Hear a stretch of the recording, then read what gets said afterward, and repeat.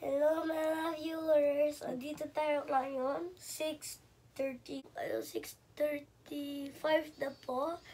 Dumo sa morning, gising na po kami. Siya po talaga ang vlogger ng channel na ito. Good morning! Today, yeah.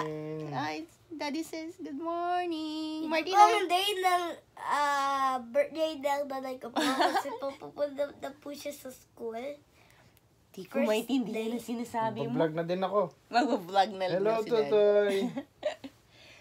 So, ngayon po ay September 16, 2019. At gaya ng sabi ng aking bulilit, it's 6.35 a.m. na po dito, Quebec, Canada time.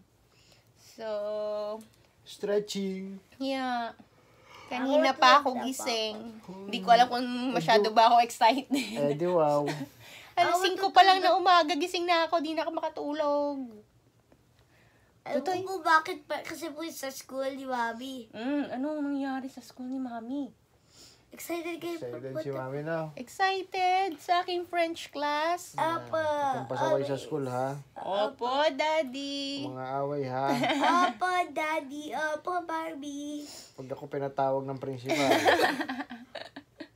Be good, be good, Mami, no? Ayun, magpre-prepare na kami maya-maya ng aming breakfast tsaka ng aming Sa babaunin sa 8 po ako school. po re-ready. Si ate nandun pa sa Sa kabilang sa kwarto. paalis na tayo Tulog pa siya. ko na kayo nun. Maingay na kaming tatlo. Tulog pa si ate sa si ate kabila. nag-snore. Right? Yeah. Up and down. Oh, ang daddy Pero naman, bad naman. Pwede ko ito tignan. Okay, later.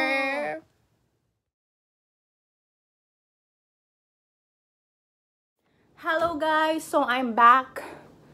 Pagkatapos ng lahat-lahat ng preparations ko since last night para sa first day ng klase ko sa French. Ganun lang pala lahat yon. Wala pang isang oras. Ako nagstay dun sa school. Siguro almost more or less 30 to 40 minutes since nung dumating ako hanggang sa makaalis ako sa school. Yon, 30 to 40 minutes. Ano nga bang ginawa doon? Nakala ko may klase na. Wala pa pala. So, ang dami-dami kong preparations. Pamula pa kagabi. So, ito yung backpack ko. Ano lang ang ginawa. Tanggalin ko muna mainit sa loob, malamig sa labas ng bahay. Tanggalin ko muna yung jacket ko todo effort pa ako sa pag iisip kung anong babao. Sa buong maghapon, prepare pa ni Daddy. Ito yung egg sandwich ko. With tomato and cheese. Meron akong nesty. Oh, lemon iced tea. So, meron din akong lemon cheese, lemon square cheesecake. And then, meron ako, nagpabaan ako dito sa ziplock na lace, barbecue flavor. At dalawang pack ng M&M's. So, mukhang dito ko na nakakain sa bahay. And aking water bottle. Dala pa ako ng maliit na French uh, phrase book and dictionary. Kasi baka ma- mapa-French sila doon eh, hindi ko maintindihan. So ito, galing yata sa Dubai. So ginawa ko siyang pencil case. Wala akong mahagilap na pencil case kagabi. So yung dalawang bagong notebook ko na nabili ko dun sa warehouse sale ng Arden few months ago. So, nagdala pa ako ng charger kung sakali na malobat ako, baka makapag-charge ako habang break time. And ito yung envelope na dala-dala ko kanina kung saan ito yung registration paper at yung letter na galing sa immigration. So, overall, yung ginawa ko sa school, yung rason kaya first day ng school ay ito. So, binigay yung schedule.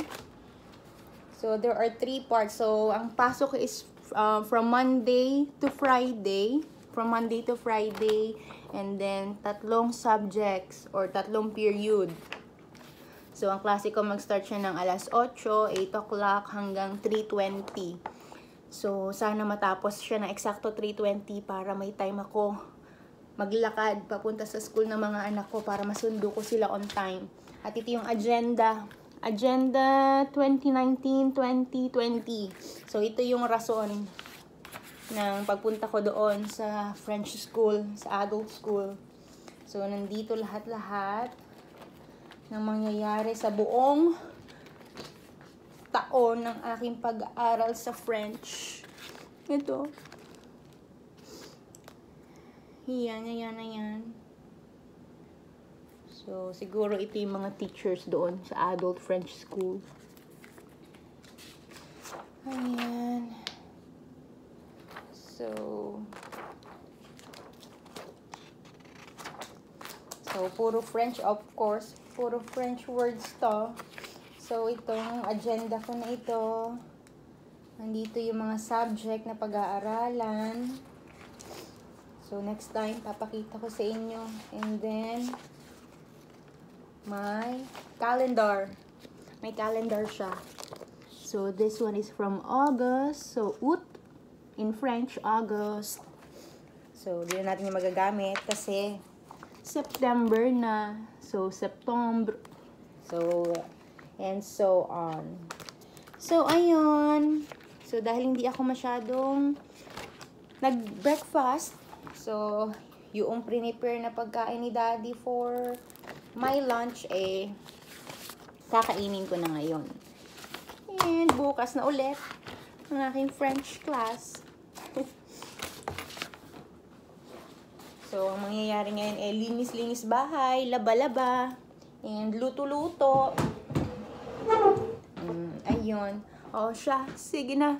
Till next time. Thank you for watching. Bye-bye.